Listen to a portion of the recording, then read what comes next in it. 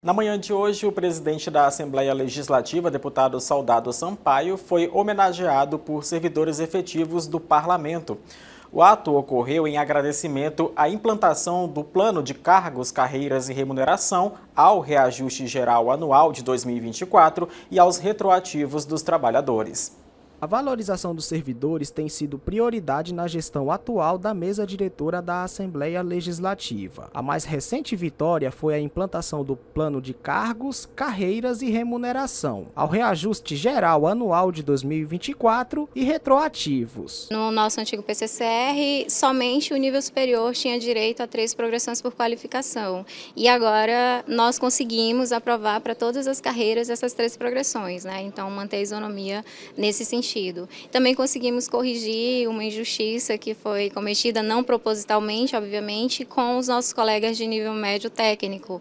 Né? Eles foram rebaixados, digamos assim, né, no último PCCR e agora nós conseguimos corrigir o vencimento deles para a faixa adequada. Como forma de agradecimento, servidores efetivos da casa se uniram para entregar uma placa de agradecimento ao presidente da casa, uma forma de parabenizar o compromisso e comprometimento com todos. Primeiro, dizer nossa felicidade e gratidão pela parceria desenvolvida com nossos servidores efetivos do Poder Legislativo, aos quais tem muito respeito, muito carinho, muita atenção, e sempre os vi como uns trabalhadores, trabalhadores compromissados com essa casa, compromissados naquilo que faz, e isso não poderia ser diferente, nós mantemos. A minha história, a minha formação política, é, buscamos abrir uma mesa de negociação é, e, e atendê-los na, naquilo que fosse possível dentro da nossa, é, nossos limites orçamentários e financeiros. Né? E hoje tive a felicidade de ser reconhecido né?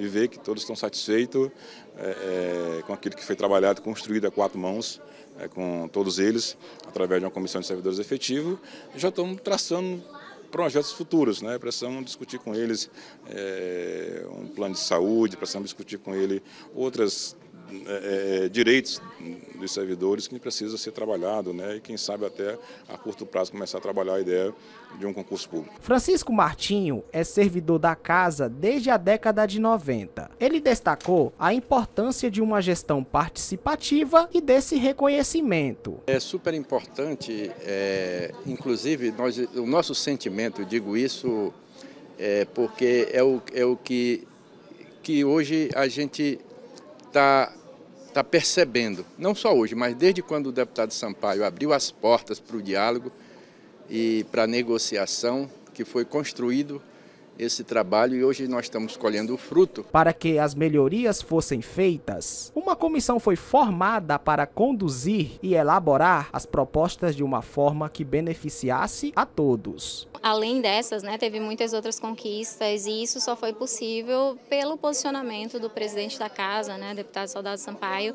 que sempre deixou aberto né, o diálogo e sempre fez questão de dizer que servidor efetivo tem que ser valorizado, né, são pessoas qualificadas que estão para prestar um serviço de excelência para a sociedade. Todos destacando o, o, trabalho do deputado Sampaio, sem demérito os presidentes que por aqui passaram, mas a partir do momento que ele assumiu a, a presidência desta casa, bons ventos circularam nesse setor e alcançou não só os efetivos, mas todos os funcionários de forma geral.